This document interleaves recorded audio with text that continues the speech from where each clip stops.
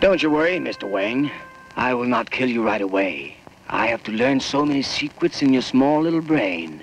Just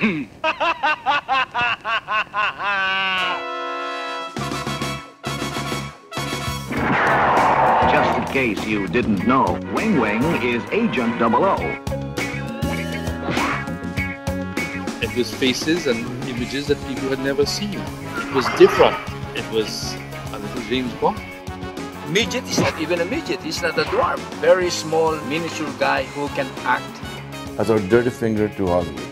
We can do it. Here's our guy. No budget, piano wire, real stunts, no CGI. The freak came out. I am the guy.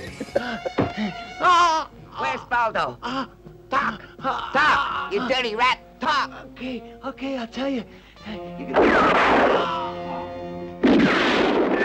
I wanted to know Weng Weng's story, his real name for starters. Trying to find out where he came from and what happened to him. I had a strong feeling the only way I would ever learn the truth about Weng Weng was to go to the Philippines with a big shovel and start digging through the rubble of 30 plus years of forgotten pop culture. I was the one who edited all of Weng Weng's films.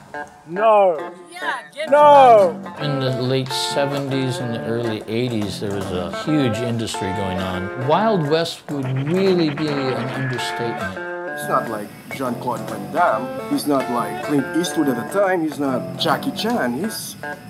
It, it's not a very comfortable image. This is exactly what Filipinos do.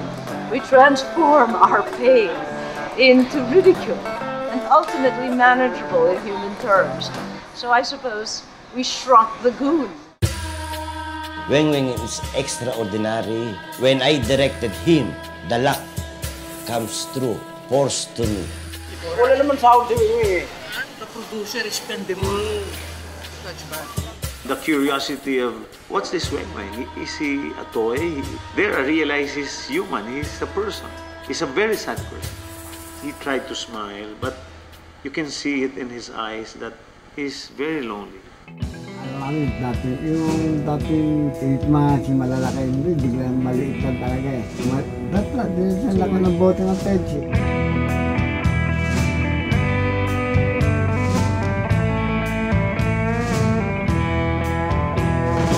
What do you remember about Weng Weng?